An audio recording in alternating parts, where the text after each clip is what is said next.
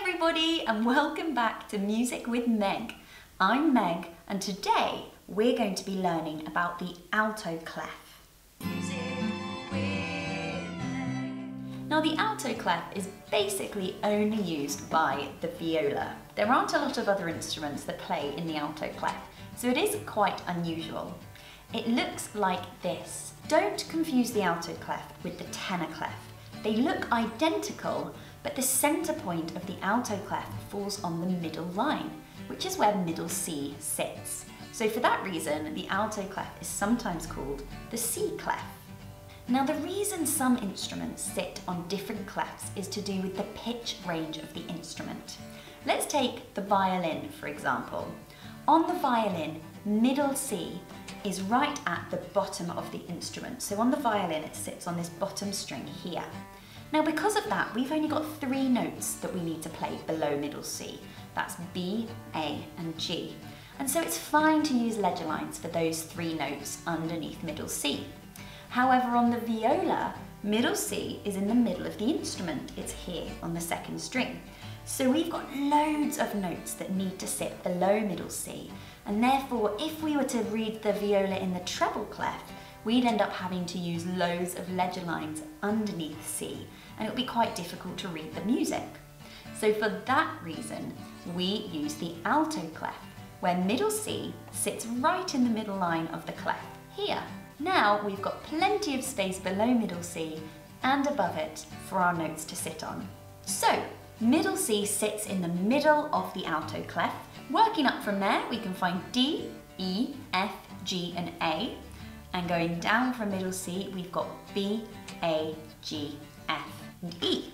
So therefore, in the alto clef, the notes on the lines are F, A, C, E, and G, and the notes in the spaces are G, B, D, and F.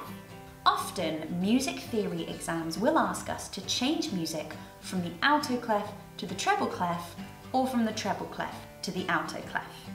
One super easy way to change a note from alto clef to treble clef is to imagine the note one step higher, and that will give you their note name in the treble clef. So for example, let's take this note here. If we move it up one step and change that alto clef into a treble clef, you can see that it's D. But in the alto clef, this is D above middle C. It's not this high D that we've got in the treble clef here. So the other thing we need to do is jump that note back down an octave and you can see that it's D one step above middle C. Make sense? Let's try another example. Here are four notes in the alto clef. Let's move them all up one step. We'll pop that treble clef on and then we're going to jump them all down an octave. So we can see that those notes are F, A, D and G.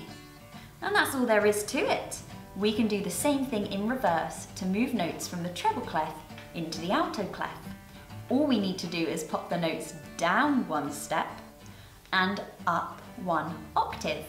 So for example, let's put G, B and C in the treble clef. Now we're going to move them down one step and up one octave. And there we have it. That is G, B and C in the alto clef. Let's practice by spelling some words in the alto clef. I'm going to show you four groups of notes on the stave in the alto clef and it's your job to work out what those notes are and what words they spell. Are you ready? Pause the video here and see if you can work the words out.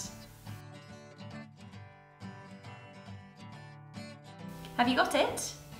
That first word, we've got B, A, G. That spells bag. Number two, D-A-D. That spells dad. Number three, we've got C-A-B, B-A-G, and E. That spells cabbage. And number four, C-A-G-E. That spells cage. So there you have it. Now you know how to read notes in the alto clef and how to change notes between the alto and treble clefs.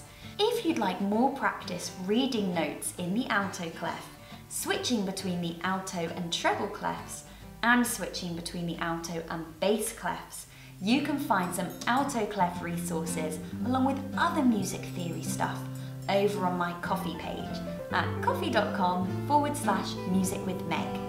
Thank you so much for watching everybody. Have a lovely week and I'll see you next time. Bye!